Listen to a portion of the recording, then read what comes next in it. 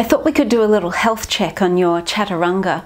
I know it's a pose that's often rushed through, like you just want to get it over with, but is there some way that you could perhaps use some technique and make it like a delicious dessert that you just don't want it to end? So the key alignment is to make sure that your shoulders are not dipping below the elbows. They want to stay at elbow height.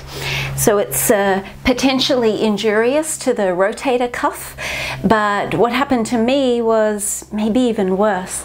I got a footballer's neck, so um, my upper traps grew and my neck disappeared, and it was a, a pretty funny look.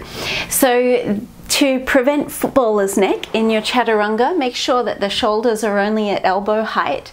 And to achieve that, it takes quite a bit of strength, so you're better off to actually be up higher. The other things that you need to do is have a strong core as well as drawing the front ribs in, and you can get that by pressing away with the hands. So pressing the earth away from you, drawing up from the underside of the body, and hopefully it's like your favorite vegan dessert. Let me know how you go. I do have the extended remix of this um, Chaturanga checkup and I'll put the uh, link in the comments below. Namaste.